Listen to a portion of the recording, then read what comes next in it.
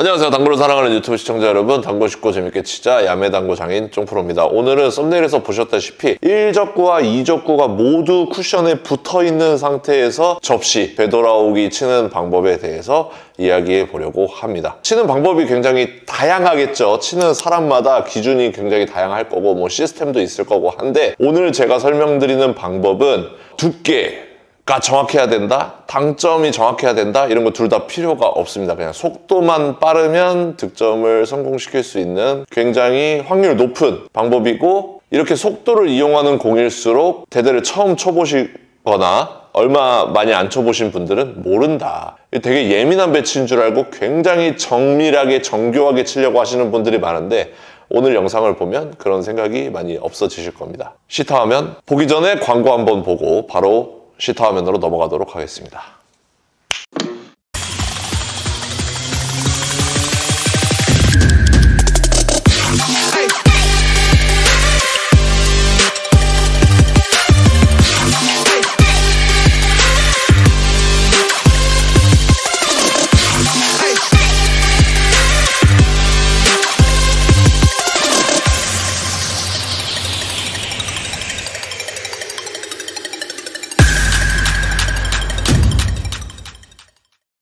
자, 상단 카메라로 왔습니다. 오늘 공부할 내용은 접시입니다.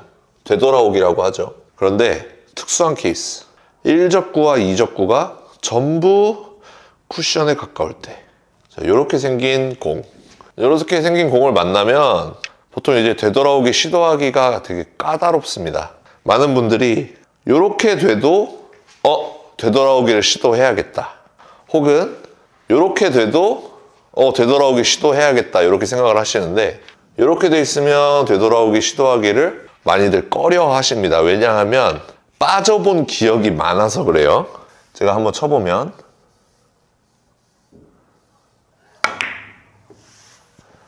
이렇게 빠져본 기억이 많기 때문에 아, 이 적구가 아, 요만큼만 빠져 있었어도 내가 시도하기 굉장히 편안한 공인데 살짝 부족해도 맞고 넘쳐도 맞고 아무렇게나 쳐도 맞는 공. 이렇게 부족해도 맞고 바로도 맞고.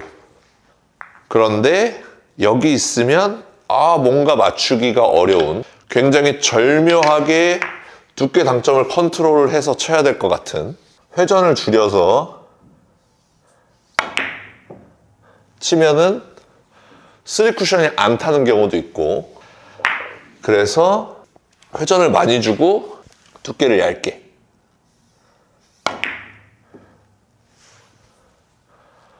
이렇게 절묘하게 쳐야지 맞을 것 같아서 많이들 시도를 안 하십니다. 그런데 제가 오늘 알려드리는 방법으로 치면 괜찮은 득점 확률을 가져가실 수 있습니다. 제가 시타를 보여드릴게요.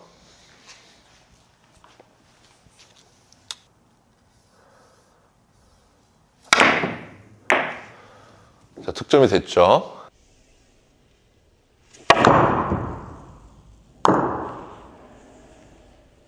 됐죠. 지금 제가 굉장히 두께를 절묘한 두께를 맞춘 게 아니라 절묘한 당점 조절을 한 게 아니라 밀림의 성질을 살렸을 뿐입니다. 자, 그 무슨 말이냐면 제가 두께 당점을 정해놓고 단 쿠션 방향으로 칠 거죠. 단 쿠션 방향으로 칠 거지만 이 공을 천천히 치게 되면 단 쿠션 쪽으로 계속 가려는 힘이 남아있지가 않습니다.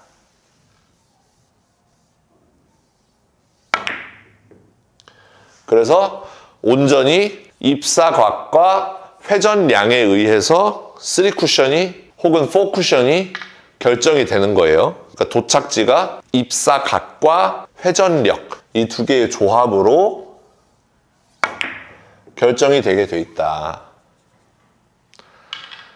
그런데 이쪽으로 가려는 힘이 노란 공에 맞을 때까지 유지를 시키면 노란 공 쪽으로 갈 수밖에 없는 그런 그러니까 맞을 수밖에 없게 쳤다 이렇게 표현을 하죠.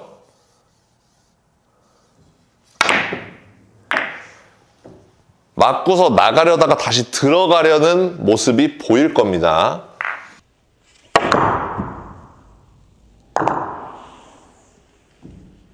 요 공을 한번 제가 설명을 드리도록 하겠습니다. 굉장히 쉽습니다. 설계 자체가 너무 쉬워요. 여러분들도 구장에서 바로 따라 하실 수 있을 겁니다. 이적구는 이렇게 코너에 고정을 시켜 놓을게요. 그 상태에서 1적구는 여기 있어도 되고 여기 있어도 되고 여기 있어도 되고 여기 있어도 돼요. 상관이 없어요. 그 상태에서 자 수구가 1적구를 맞고 코너로 방향성을 줄 수 있는지를 봅니다. 그러니까 코너로 갈 수 있는 두께를 잡는 거예요. 예를 들어서 이렇게 돼 있으면 지금 1적구를 맞고 코너 쪽으로 공을 꺾을 수가 없죠. 이럴 때는 방법이 달라지는 거고 자 지금은 절반 두께 정도만 치면 코너 쪽으로 꺾을 수가 있죠. 이렇게 되면 절반보다 조금 더 얇게 치면 코너로 꺾을 수가 있죠. 이렇게 되면 절반보다 조금 더 얇게, 더 얇게 한 4분의 1 두께 정도 치면 코너로 꺾을 수가 있죠. 이렇게 돼 있으면 거의 8분의 1 두께를 치면 코너로 꺾을 수가 있죠. 그 두께를 처음으로 잡는 겁니다. 두께를 코너로 가는 두께.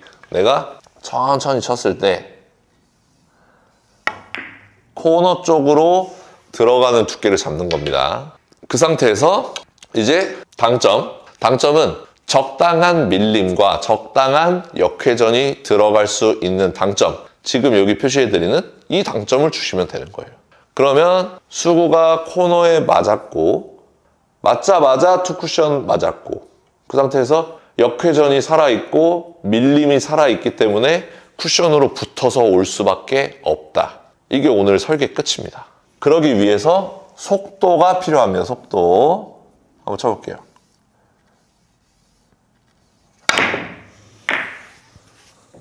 지금 수구가 밖으로 나가려다가 일자로 쭉 내려오는 게 보이시죠? 다시 한번. 여기다 놔두고 쳐볼게요. 자, 지금도 코너로 보낼 수 있어요? 없어요? 보낼 수 있죠. 반보다 조금 더 얇은 두께네요. 이렇게 되는 겁니다. 속도가 느렸으면 튕겨 나갔겠죠. 속도가 빠르기 때문에 쿠션으로 붙어서 올 수밖에 없다. 이 단 쿠션 쪽으로 밀리는 힘이 살아있기 때문에 여기다 놔두고 쳐볼게요. 지금은 한 절반 두께 정도를 쳐야 코너 쪽으로 꺾일 것 같아요. 당점은 계속 똑같습니다.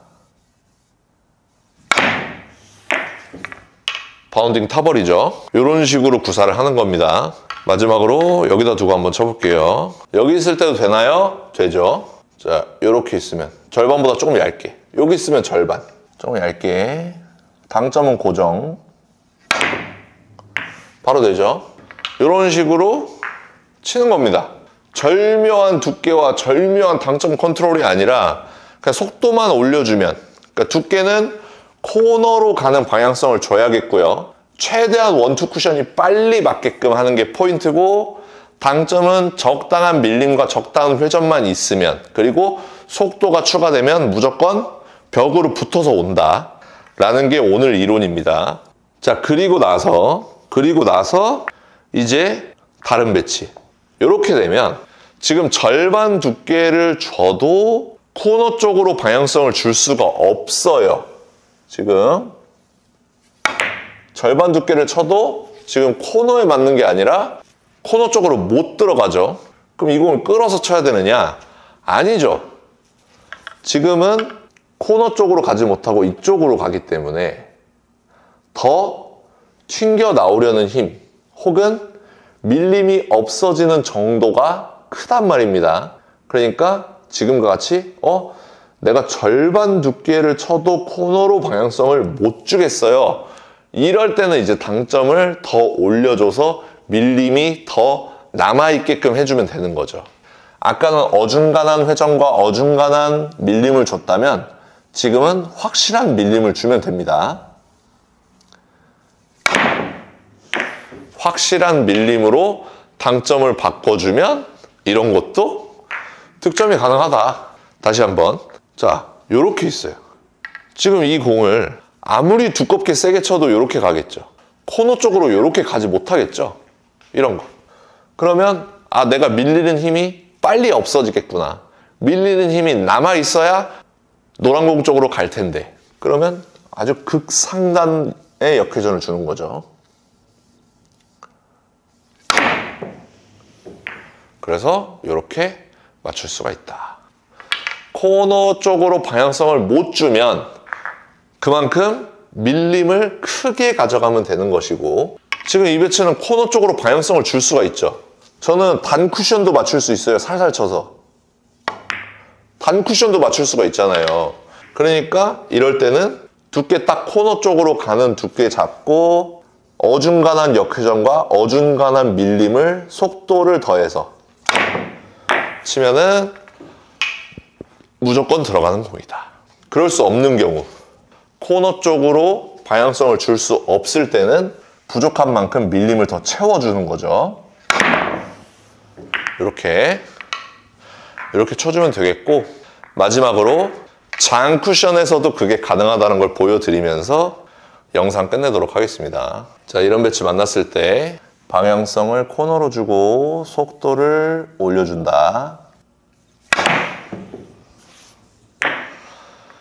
자, 이렇게 쳐주시면 되겠습니다.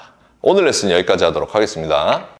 자, 오늘 영상 도움되셨다면 좋아요 한 번씩 눌러주시고요. 많은 분들에게 카카오톡으로 공유 부탁드리도록 하겠습니다. 오늘도 시청해주셔서 감사합니다. 남고 싶고 재밌게 치자. 야매당구장의 총프로였습니다. 감사합니다.